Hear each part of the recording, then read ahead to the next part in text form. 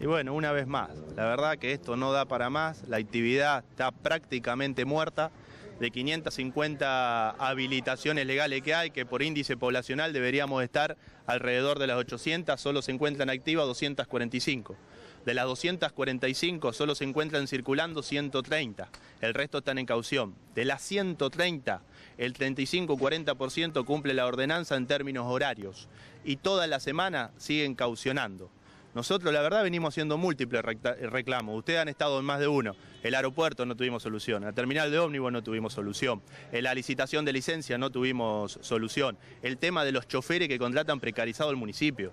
El municipio que debe ser el que da el ejemplo contrata choferes en negro, precarizado. La RT municipal contrata choferes precarizados. Siempre que nos juntamos, siempre fue en pos del diálogo y siempre proponiendo soluciones. Siempre. Llegamos a este punto donde la actividad no da para más. ¿Cuántos remises legales funcionan hoy en la ciudad de Rosario entonces?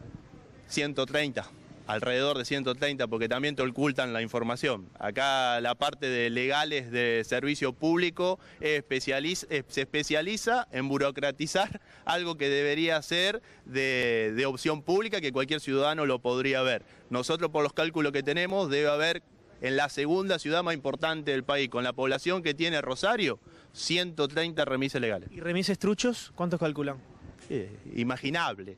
Es más, los truchos ahora hasta se especializaron. Si acá lo que hacen es darle una mano a lo que hacen las cosas mal. Parece que los que quieren hacer las cosas bien le ponen traba, burocratizan la situación.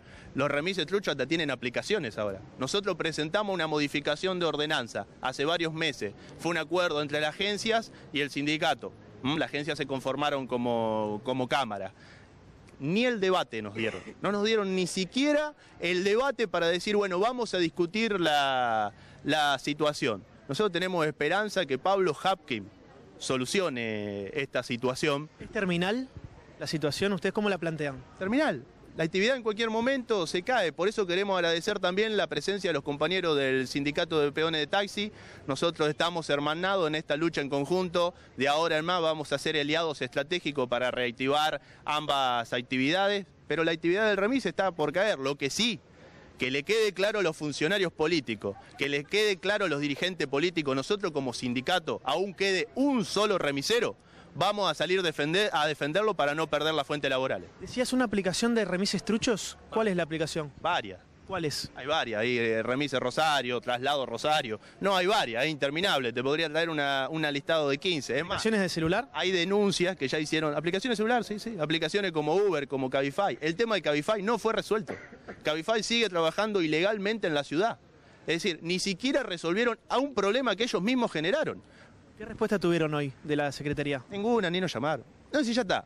Ya se pero ya se terminó de que perdieron las elecciones y acá los funcionarios son, hasta que pierden las elecciones, no tienen vocación de funcionario. No entienden que gobiernan hasta el día de diciembre, hasta que tienen... Menos mal, menos mal que al que le suceden es del Frente Progresista. Imagínense si fuera peronista, lo que le espera, pobre Pablo Hapkin.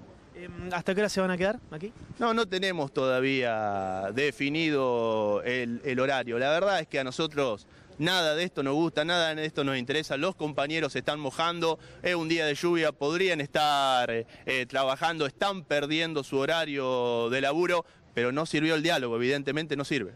Gracias. Gracias a ustedes. Muy amable.